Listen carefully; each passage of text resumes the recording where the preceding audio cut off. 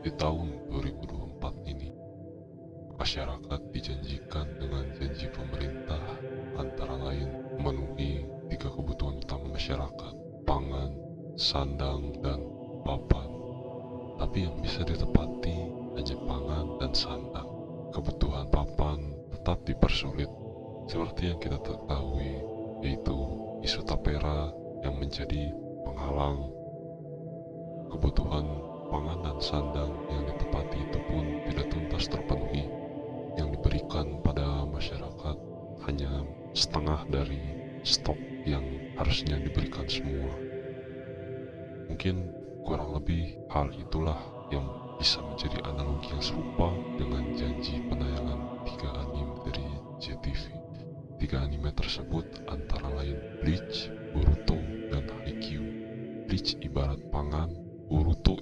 sandang dan Haikyuu adalah papannya. Di awal tahun, persis di masa satu bulan sebelum Pilpres, kita semua satu negara Indonesia tidak hanya dijanjikan dengan janji-janji caleg pemilik stasiun TV tersebut, tapi kita semua juga dijanjikan dengan akan munculnya tiga anime yang sudah disebutkan tadi. Bleach ini hanya ditayangkan tidak sepenuhnya maksudnya gini Bleach itu ada beberapa season yang sudah rilis. Bahkan kita sendiri tahu. Tapi entah mengapa mungkin karena faktor rating si stasiun TV tersebut ogah menayangkan keseluruhan season. Sehingga sampai-sampai dan ini yang jadi masalah. Jam tayang program anime Bleach sering kali berpindah-pindah tidak sesuai dengan apa yang dipromosikan. Terkadang dalam satu episode yang harusnya tayang 20 menit full itu bisa dipotong jadi 10 menitan atau mungkin lebih sedikit. Pemotongan adegan yang luar biasa sehingga membuat penonton kecewa dan skeptis dengan kehadiran anime yang selanjutnya. Lalu munculnya anime Boruto. Boruto ini bukan anime yang perdana muncul di JTV karena sebelum-sebelumnya pun sudah pernah tayang tapi kalau tidak salah tidak tamat lalu diputar kembali mulai dari awal lagi dari Naruto season 1 semua season 3 dan selanjutnya sampai ke Boruto kita terus menerus. Lalu selanjutnya adalah Haikyuu. Entah mengapa sampai bulan ke-10 ini sampai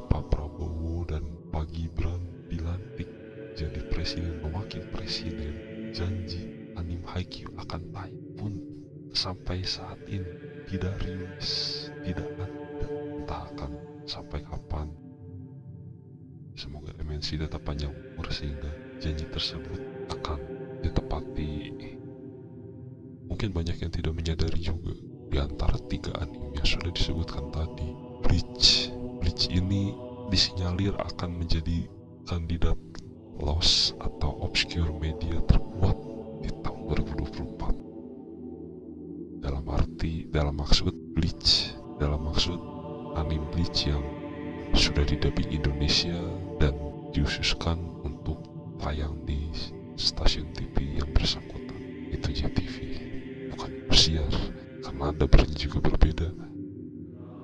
Kalian bisa cari tahu buktinya.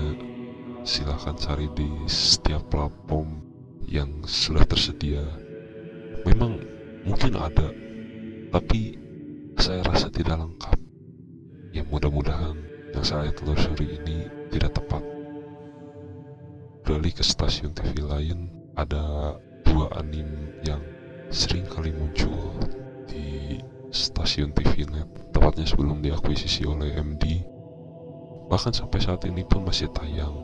Ada Shinbi House dan Detektif Conan. Dua anime yang sudah saya sebutkan barusan ini hanya ke, mungkin kebutuhan sekunder yang sebenarnya tidak terlalu diharapkan di kondisi krisis kebutuhan hidup sekarang ini. Masyarakat juga tidak tertarik dulu saat dua anime tadi rilis perdana di net karena episode yang muncul dalam dua anime tadi selalu berulang ngacak tidak berurut sehingga membuat penonton juga jengah dan mencari anime yang lain. Saat ini ada RTV dan Pari TV yang juga bisa dibilang sebagai kebutuhan sekunder. Anim-anim yang muncul di sana kebanyakan mengacau dan tidak mengurut. Entah kenapa ya, anim-anim sekarang itu yang muncul di televisi kebanyakan tidak berurut. Mungkin semuanya kali ya. Di RTV misalnya, yang biasa muncul setiap subuh ada Pokemon Horizon, Beyblade X, dan Metal Cardboard. Dan juga di Mentari TV ada Ultimate Journey dan Master Journey. Ada Digimon Adventure yang versi remake. Ada juga anim-anim di stasiun TV lain yang bisa dikatakan sebagai kebutuhan tersier atau yang tidak tidak terlalu diharapkan kehadirannya tapi saat kita mengetahuinya saat kita mengikutinya itu akan menjadi pengalaman tersendiri bagi kita. Saya memantau ada empat anime yang tayang di anak stasiun TV Kompas Kompas Group yang pertama ada judulnya Inakape Taisho dari visual dari dan juga pengemasan cerita. Ini mengingatkan kita dengan anim si Genius Bakabun yang sudah tayang jauh sebelum jauh sebelumnya di Indonesia. Lalu yang kedua ada Judo Boy. Judo Boy ini katanya uh, uh, merupakan salah satu anime terabsurd karena bisa dibilang episode tiap episodenya itu seperti tidak tidak mengurut tidak ada kurang terasa continuity-nya sama mungkin halnya seperti menonton Gintama lalu ada anime Robin Hood dan juga satu lagi ada anime Daigunder Daigunder ini mirip dengan ketika kita nonton itu rasanya seperti menonton Bidaman, Medabots, dan anim-anim robot semacamnya empat anime yang tayang di stasiun TV anak dari Kompas Group yaitu KTV sebenarnya stasiun TV ini mostly diisi oleh acara-acara ulangan dari Kompas TV kecuali empat anime yang tadi. Ya disinyalir empat anime yang tadi saya sebut itu merupakan hasil beli putus dari pihak Space Tune Indonesia. Saat saya cari tahu, di antara empat tadi hanya satu yang keberadaannya di internet sangat lengkap. Bukan sangat lengkap lagi, memang lengkap. Yaitu Daigunder. Daigunder itu yang yang ada di internet sudah dengan dubbing Indonesia. Sedangkan sisanya belum ada sama sekali. Mungkin ada saat tapi hanya satu episode, dua episode aja. Jadi dari situlah saya bertekad untuk melengkapi semua supaya tidak ada lagi yang hilang internet. Lalu selanjutnya beralih ke stasiun TV yang lain yang sama juga bisa dibilang dianggap sebagai kebutuhan tersier yaitu anim Kickers di Jogja TV. Anim ini secara plot akan mengingatkan kita dengan anim Kapten Suwasa dan Offside saya cari tahu banyak, anime Kickers ini ternyata pernah ditayangkan di Indonesia dan uh, pada pada tahun sekitar 95 sampai 9 mungkin. Dan yang muncul di Jogja TV, saya rasa itu merupakan stok bekas dari Indosiar karena dari visualnya sangat klasik sekali seperti hasil file yang diputar dari isi VCD sangat klasik sekali. Kalian bisa cek sendiri langsung ke uh, di Jogja TV setiap hari Senin jam setengah enam sore waktu Indonesia Barat. Ya kebutuhan tersier dari dua stasiun TV tadi menjadi kebutuhan uh, men akan akan memberikan pengalaman yang sangat luar biasa. Dan mungkin kalian yang mengalaminya akan menjadi bagian satu dari sekian banyak yang mengalami. Sedikit tapi episodenya terus berulang-ulang. Coba orang mungkin coba kalau sekarang orang dikasih pilihan antara ini saya memposisikan diri sebagai pengiklan dan dikasih dua pilihan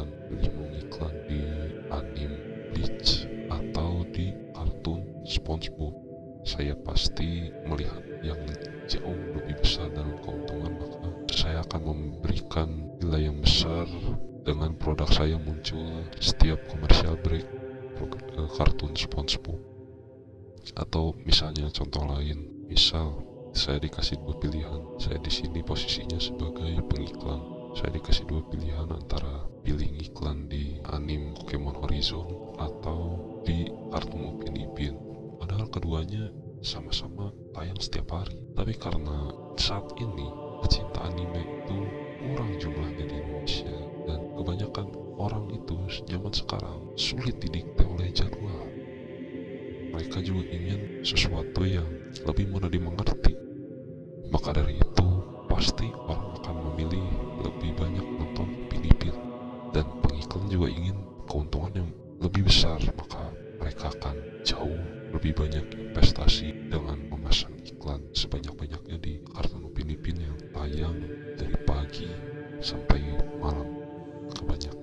anime yang muncul sekarang di televisi juga kebanyakan segmentasinya untuk anak-anak. Tidak seperti dulu ada untuk remaja juga bahkan orang-orang tua pun banyak yang ngikutin anime. Ya belum lagi kebijakan KPI yang lagi-lagi meresahkan. Sensor juga diperketat sekarang sehingga membuat orang juga terutama pencinta anime terus isunya besar sekali untuk mereka menghabiskan waktunya di depan televisi menonton anime kesayangannya tapi kalau saya boleh rekomendasikan kebutuhan tersier yang saya analogikan tadi silakan rubah jadi kebutuhan primer. Kalau kalian tidak bisa menontonnya di televisi saya siap memberikan secara gratis di channel pernah lihat. Inaka Peta Show, Judo Boy, Robin Hood, dan Kickers. Yang penasaran tunggu tanggal mainnya karena saya juga masih melengkapi apa yang belum lengkap. Banyak episode-episode yang belum rilis di televisi yang bersangkutan. Saya juga masih menunggu kalau sudah lengkap baru saya rilis semuanya. Ya memang mungkin di tahun-tahun berikutnya keberlangsungan anime ini akan jauh lebih langka akan lebih sedikit dibanding yang sekarang ada membeli stok anime untuk dibawa tayangkan di televisi nasional juga secara harga mahal. Mereka juga mau rugi. Itulah kenapa mereka memilih anime-anime yang dari Malaysia dari Korea ataupun sekarang sudah banyak animasi-animasi lokal sehingga mereka juga tidak perlu membeli stok-stok impor. Mahalnya harga yang dipakai untuk stok anime Jepang juga sama seperti stok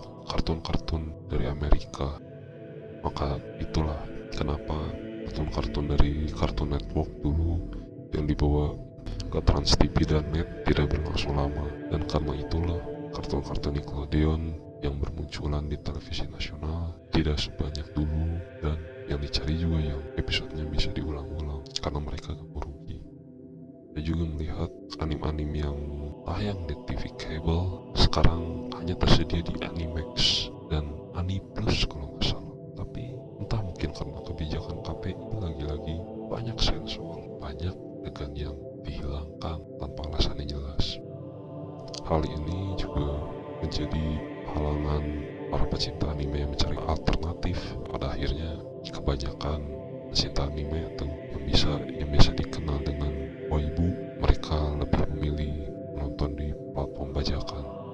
Mereka tidak mau dipersulit dengan aturan-aturan yang ada.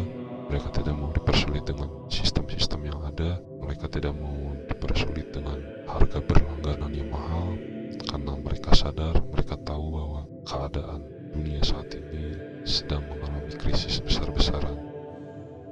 Dan kebanyakan orang juga mencari anime sudah didubbing yang bisa dimengerti banyak orang yaitu bahasa Indonesia di televisi nasional demikian surat yang saya sampaikan di pernah bersabda kali ini. Mudah-mudahan ada platform khusus yang menyediakan anim yang sangat lengkap dengan dubbing Indonesia dari dubber-dubber yang saya yang banyak yang sering dipertanyakan di MT